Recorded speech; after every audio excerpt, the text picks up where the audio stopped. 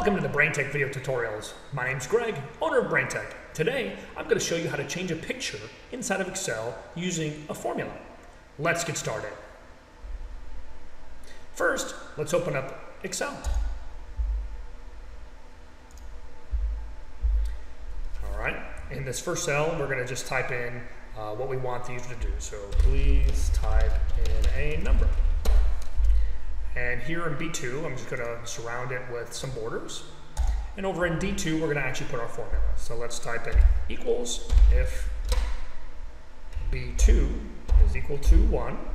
And we're going to do locked. We're going to do unlocked. Otherwise, locked. All right, so here we can test our formula. So if I type in a 2, it's locked. A, locked.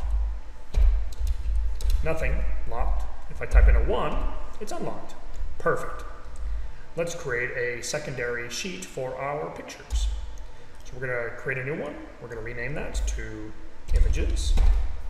And we're going to expel, we're going to expand A1 so that it'll hold the image. So we're going to make it pretty big. And we're going to call this locked. And we're going to do the same thing with B, and we're going to call this unlocked. All right, so let's go ahead and insert our image. And we'll position that here. And then we're going to insert the next one. Perfect. All right, let's go back to sheet one. Here we need to add a formula. So let's click on the formulas tab, click on define name, we're going to type in here pictures. And here where it refers to this, now by the way, notice that we're referring it to D2. So we're going to type in indirect. And we're going to click OK. All right, that's done. Easy.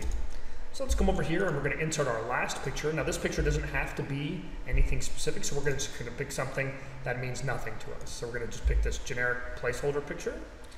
And in the formula box, we're going to type in equals pictures. Hit enter.